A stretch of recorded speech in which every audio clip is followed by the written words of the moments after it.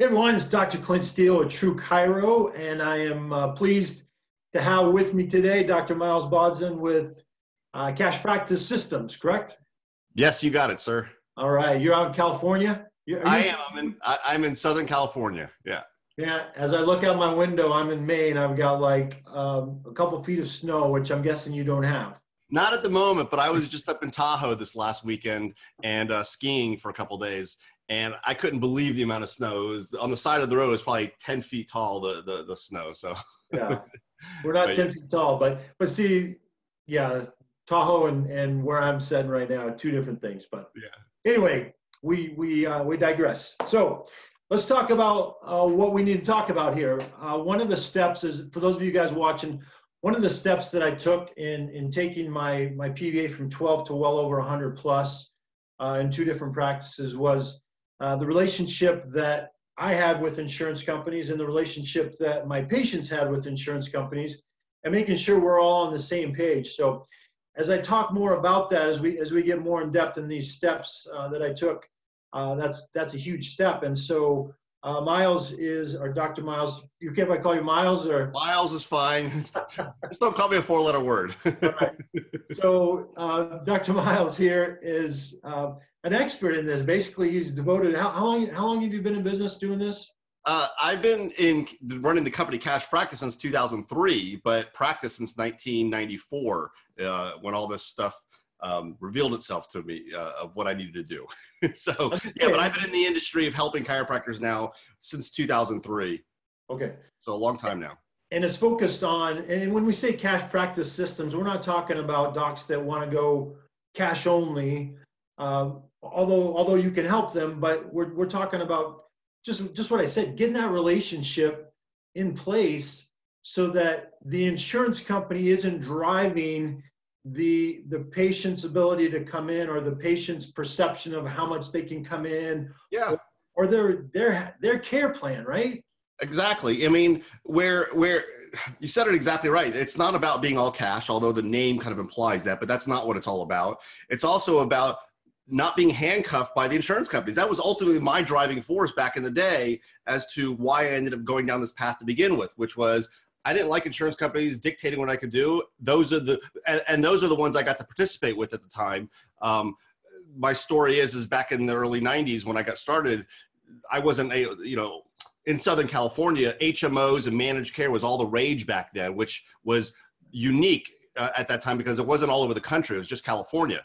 And I was a young kid out of school with uh, no ability to participate in those HMOs or any of that stuff that was going on because they weren't accepting you know new graduates out of school at that time into those programs. So nine out of ten patients would come in to see me with an HMO or some kind of managed care plan, and I wasn't able to accept that insurance. And so I had to figure out very quickly if I was going to succeed in practice, how do I have a patient who comes in in pain, wants a quick adjustment, uh, thinks of chiropractic for neck and back pain, has an HMO, and meanwhile, I want him to do a lifetime of wellness care. I mean, how do I do that in that environment? And uh, I didn't know at the beginning, and it was a big struggle, but eventually figured it out. Eventually figured out how to go that path, and that's what led to my expertise as to you know really kind of figuring out how do you not just figuring out but actually applying a model and practice that lets that gets the insurance company even if you participate with them how to get them out of the way so that you're able to have that one-on-one relationship with the patient and really deliver on the promise of chiropractic for them. Yeah.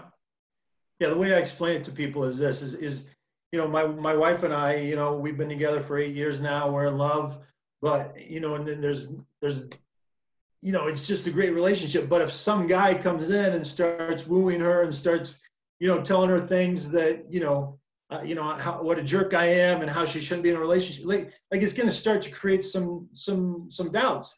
And unless she actually like stops that, puts a stop to it, says, Hey, listen, don't, don't be doing this stuff anymore.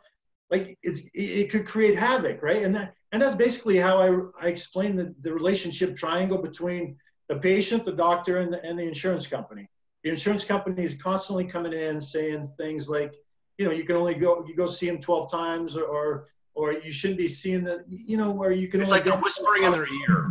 It's like they're whispering in the in the, in the patient's ear about what shouldn't they actually yeah Absolutely. And so, and so that's what you do. And by the way, you had a very successful practice too before you started this, right? I listened to. Yeah, the- I mean, I, I sold my practice in 2011, but yeah, very successful practice.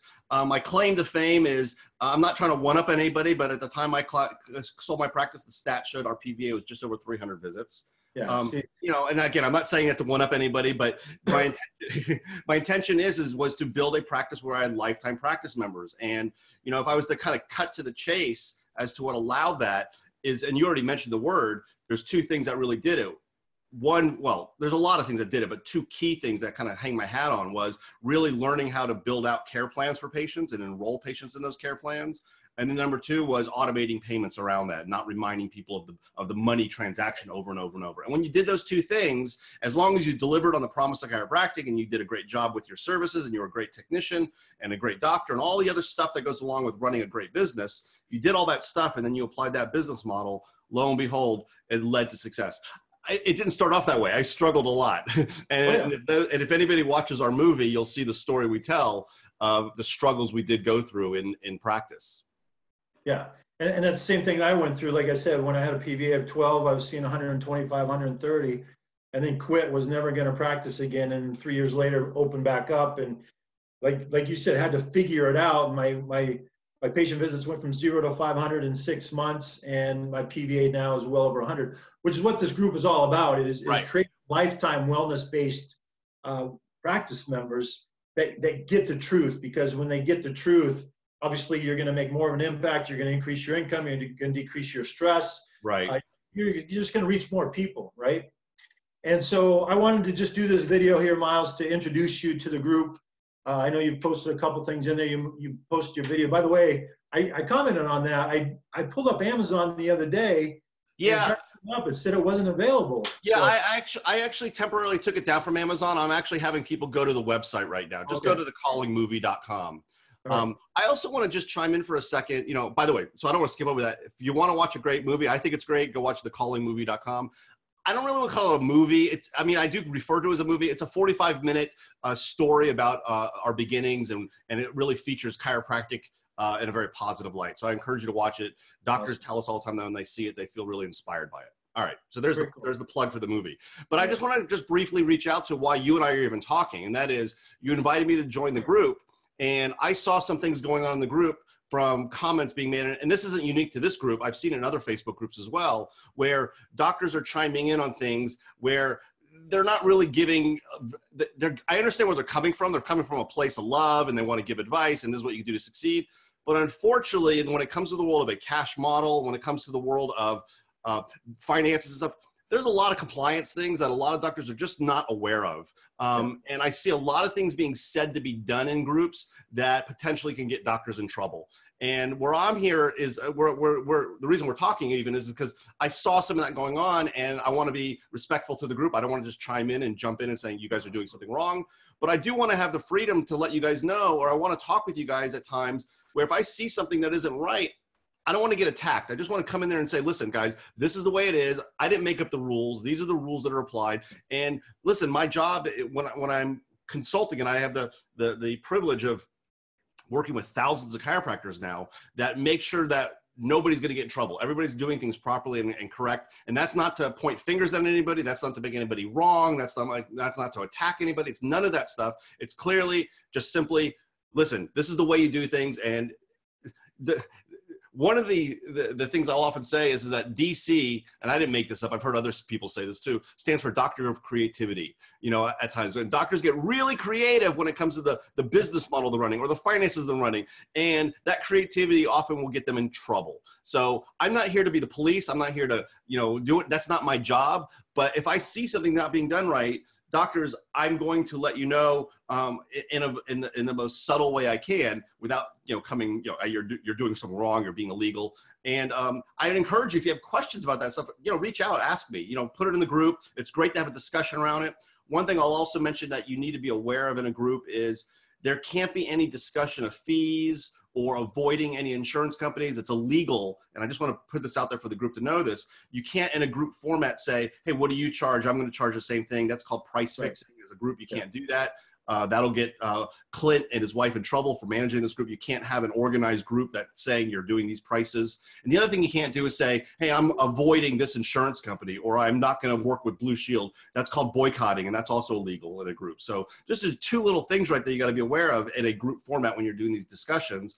But oftentimes doctors will point out things that they're doing in their plans or the way they're discounting, and it's usually around the world of the way they apply quote unquote cash discounts, which by the way, there's no such thing as a cash discount, but there's no, you know, the, the, the way they're doing things, is it, it's potentially going to lead down a path that will lead them in front of their state board or in front of a, a, a regulatory agency. So we just want to make sure, I'm not here to use fear tactics. That's not my intention, but my intention is, is that I want to make sure that doctors are doing things properly. And um, so that, that's really kind of why you and I are even speaking.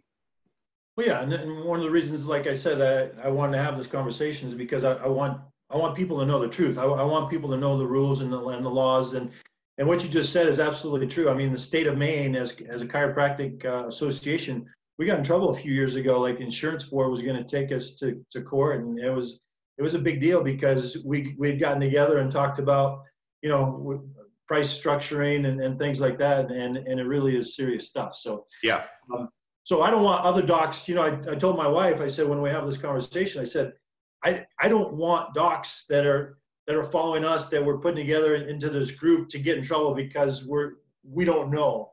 You know, ignorance is not is not bliss, right? It, it's not. We, we need to know this stuff too. So, uh, so I appreciate your time and I appreciate you coming on. And uh, uh, I would like to do some more stuff with you in the future, Miles. If we get some some docs asking questions, maybe we'll do a live every so often, or we'll sure. we'll record a Zoom call and uh, and there's some other things that uh, hopefully we'll be doing in the future too. So excellent. Thanks for having me. Thanks so much, Miles. Appreciate it, man. Have a great day. You too.